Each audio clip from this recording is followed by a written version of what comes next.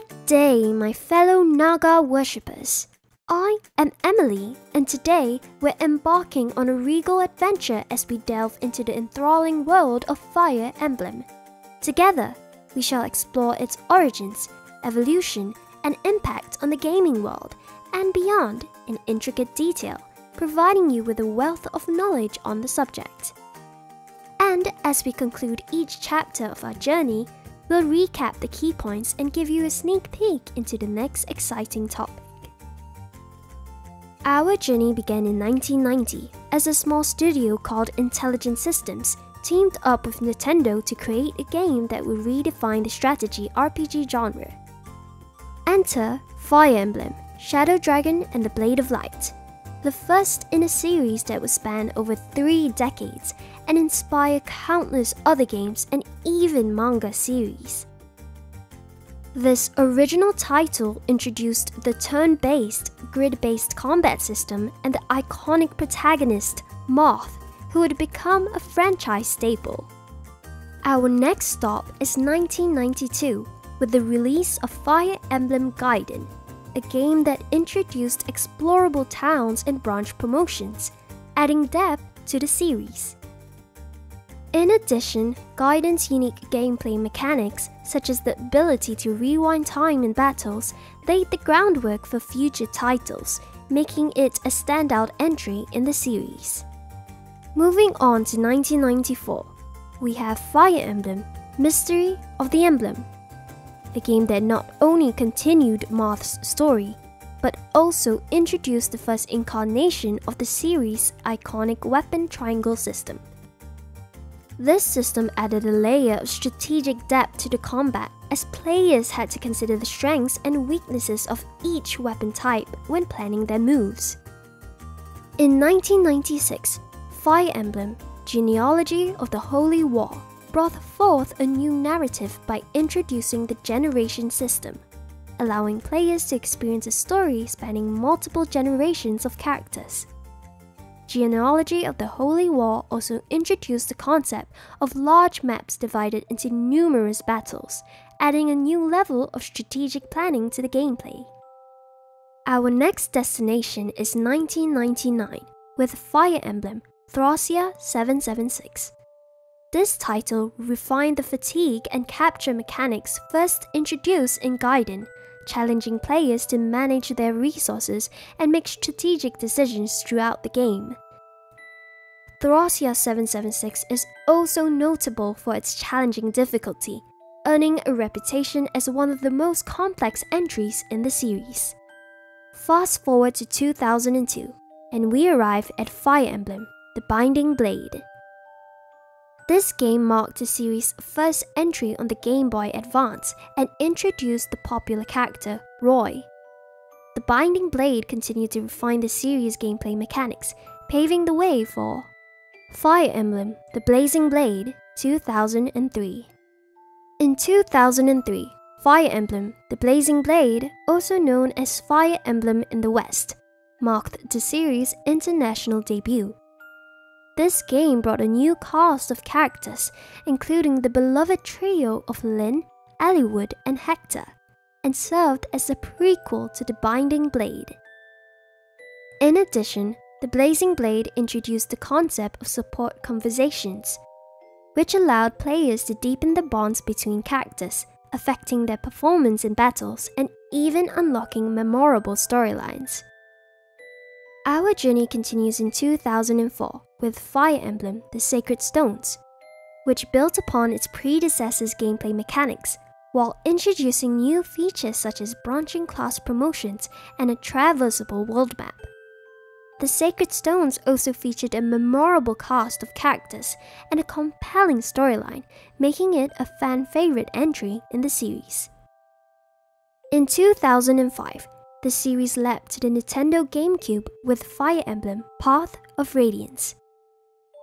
This game introduced the world to Ike, another iconic protagonist, and featured 3D graphics and full motion cutscenes, elevating the series' presentation to new heights. Path of Radiance also introduced the Laguz races, shape-shifting characters that added new strategic possibilities to the game. Two years later, Fire Emblem Radiant Dawn arrived on the Nintendo Wii as a sequel to The Path of Radiance. This title featured multiple interconnected storylines, an advanced combat system, and a sprawling epic narrative. Radiant Dawn's challenging difficulty and complex mechanics made it a standout entry in the series. In 2008, Fire Emblem Shadow Dragon, a remake of the original 1990 game, was released for the Nintendo DS. This remake brought updated graphics, a more streamlined user interface, and new features such as reclassing characters providing a fresh experience for newcomers and longtime fans.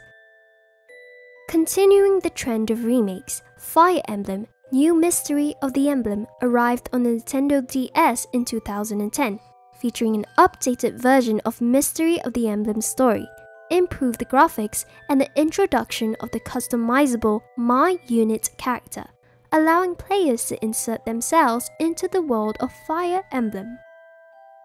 Arguably the series' most popular entry, Fire Emblem Awakening was released for the Nintendo 3DS in 2012.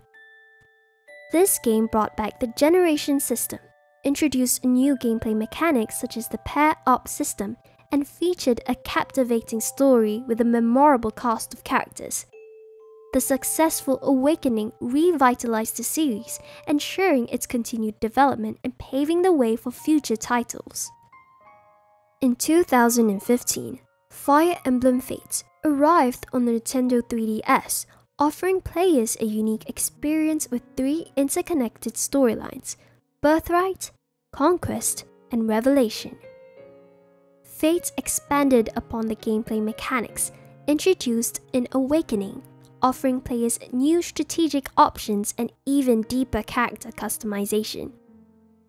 In 2017, Fire Emblem Echoes Shadows of Valentia, a remake of the Fire Emblem Gaiden, was released for the Nintendo 3DS. This game retained the unique mechanics of its original counterpart while updating the presentation and adding new features such as full voice acting and explorable dungeons, providing a fresh take on a classic title for both new and returning fans. Fire Emblem Three Houses released for the Nintendo Switch in 2019. Three Houses brought a new level of depth and immersion to the series, introducing a fully explorable monastery, a deep and engaging story spanning multiple routes, and a new battalion system that added even more strategic options to combat. The game also featured memorable characters and a rich web of relationships making it a critically acclaimed and fan favorite entry in the series. Our journey concludes with Fire Emblem Engage, the most recent installment in our timeline. This game introduced magical rings that are imbued with copies of past Fire Emblem characters, allowing not only for the new characters to become empowered with their abilities, but to also build a strong connection and chemistry with the previous characters. And so, my dear comrades, our chronological journey through the world of Fire Emblem ends.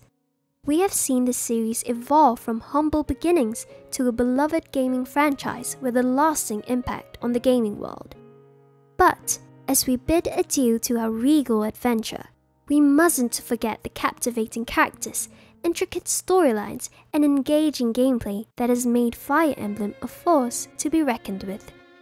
But fear not, for our journey is far from over. As we prepare to delve even deeper into the captivating world of Fire Emblem, join me in our next thrilling chapter as we explore the complex web of relationships, friendships, rivalries, and romances that make this franchise so rich and alluring. Until then, I bid you a fond farewell, and may Naga's blessings always be with you. Ciao!